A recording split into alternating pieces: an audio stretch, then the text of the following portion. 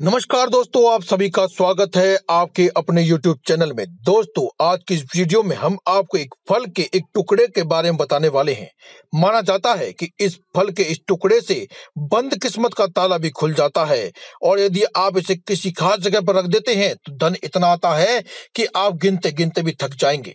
जी हाँ दोस्तों, ये सभी आपकी किस्मत आपके विश्वास और आपके श्रम पर निर्भर करता है। आज की इस वीडियो में हम आपको एक चमत्कारी फल के बारे में बताने वाले हैं। तो दोस्तों, बस आप कमेंट बॉक्स में एक बार बजरंग बली का नाम लिखें।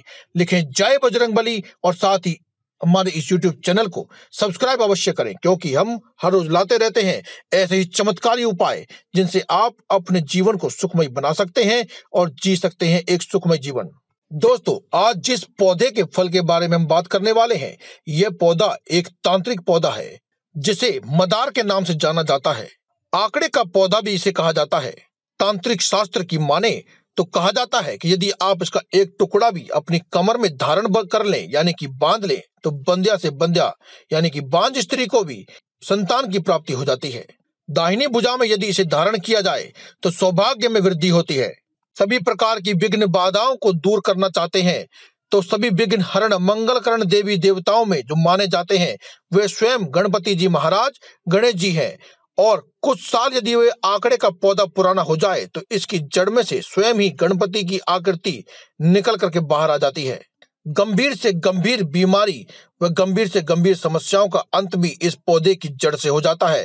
किसी भी प्रकार की बुरी नज़र, हाय, श्राप टोने टोटके या तंत्र क्रियाओं से बचने के लिए यदि आप इस पौधे के छोटे से टुकड़े को अपने घर के दरवाजे पर लगा देते हैं तो सभी प्रकार की तंत्र क्रियाएँ नकारात्मक ऊर्जाएँ, हाय, श्राप, टोना टोटका बदुआ आदि आपके घर पर कभी भी नहीं लगता है।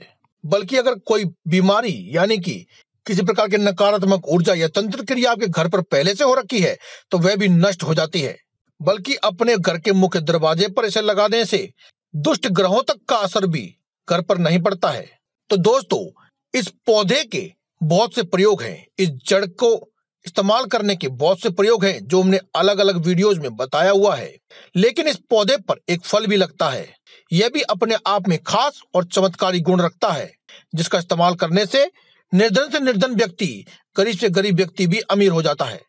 यदि दोस्तों आपके घर में कोई ऐसा व्यक्ति है जो कि अक्सर बीमार ही रहता है तो उस व्यक्ति के ऊपर से आग यानी कि मदार के इस पौधे की एक छोटी सी डाली को तोड़कर लाकर सात बार घुमाकर घर से बाहर फेंक दे, उस व्यक्ति की बीमारियों में सुधार देखने को मिलेगा।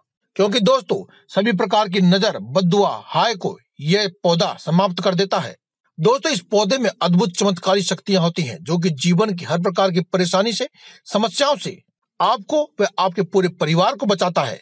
दोस्तों, अपने घर में धन की आवक को बढ़ाने के लिए आप इस आग के पौधे पर जो फल लगता है, आप इसे अपने घर में ले आए और इसे कहीं भी छाव में रखकर, अपने घर में बालकनी आदि कहीं पर भी रखकर थोड़ा सा सुखा लें और जब वह सूख जाए तो इसे अपने घर में जहाँ आप पूजा करते हैं, वहाँ पर रख करके इसे शुद्ध कर लें। इसके ऊपर थोड़ी सी हल्दी व कुमकुम लगाएँ और इसे एक लाल रंग के कपड़े में बांधकर अपने घर में रख लें। जीवन में आने वाली हर मुश्किलों से आपको बाहर निकालेगा। चारों तरफ़ से आपके पूरे घर की रक्षा करेगा। एक सुरक्षा परत जैसी आपके घर पर बन जाएगी।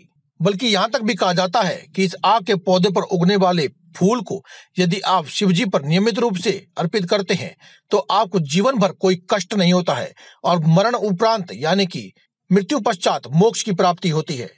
तो दोस्तों, आज की इस वीडियो में केवल इतना ही। कल फिर आपसे मुलाकात होगी एक और नई वीडियो के साथ। तब तक के लिए दे में इजाज़त, धन्यवाद। कमेंट बॉक्स में लिखना ना भूलें। जय बजरंग बली